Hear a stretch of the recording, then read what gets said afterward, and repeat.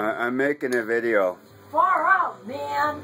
Uh, okay. I uh, connected FireWire, uh, target mode, and I am copying the files from this older computer. This is after they used vacuum tubes. This is a, a G, a G4.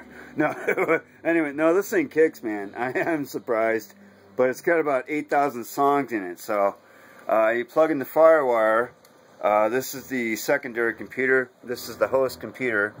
Uh, I can't really see it, but next to the Cat5 cable is FireWire.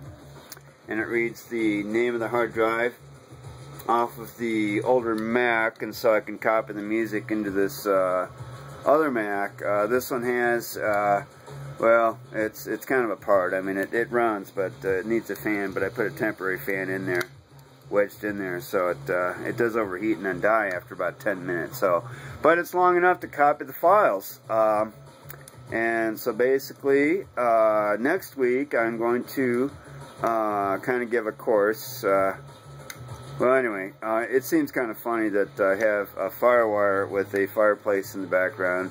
Of course I had to update the flash player on Mozilla and of course use Mozilla Firefox because it has a built-in firewall because Safari got attacked. Try to use Mozilla and I know the engineer. I call him Mozilla Mark. I see him on Mondays at the 515. And of course we got a bunch of Apple hippies that live here in Manitou that saved a company called IBM when they went belly up. So anyway, um, I just had gas and I think I need to open a window. Oh wait, I'm, I'm on a Mac, so I'm not using Windows right now. Okay. That was kind of funny. I like the other ones. Okay.